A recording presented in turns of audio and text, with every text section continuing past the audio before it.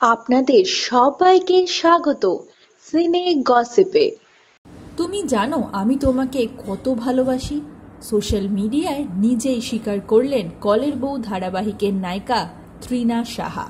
ত্রিনা সাহাকে আমরা বর্তমানে দেখছি কলের বউ ধারাবাহিকে অভিনয় করতে। হ্যাঁ বন্ধুরা, সদ্য মুক্তি পেয়েছে নতুন ধারাবাহিক কলের বউ। আর সেখানেই দিব্যি অভিনয় করছেন ত্রিনা সাহা। ধারাবাহিকে ত্রিনা সাহাকে আমরা দেখছি দুটো চরিত্র অভিনয় করতে।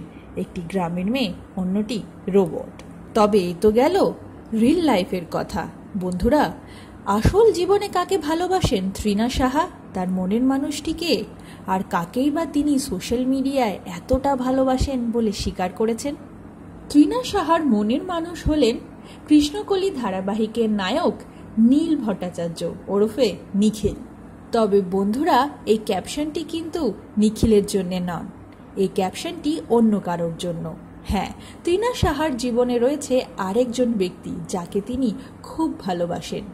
আর তাকেই জানালেন নিজের মনের কথা, লিখলেন, তুমি জানো, আমি তোমাকে কত ভালোবাসি।